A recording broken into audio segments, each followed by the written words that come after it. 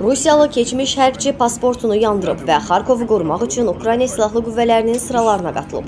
Görüntülər Ukrayna Telegram kanallarında yayılıb. 2014-cü ildə Krımın ilhaqından sonra Ukraynaya köçən hərbçi 5 il Rusiya Silahlı Qüvvələrinin quru qoşunlarında xidmət edib. Keçmiş hərbçi bildirir ki, Rusiyanın Ukraynaya qarşı başladığı hərbi əməliyyat soyqırımdır. Həmin görüntüləri təqdim edirik. Гражданин России, бывший военнослужащий. В данный момент вступил в тероборону города Харькова. В 2014 году из-за событий в Донецке я переехал жить в Украину. В данный момент это не спецоперация, это геноцид против украинского народа. Поэтому я не хочу принадлежность иметь к России как какому-то флагу.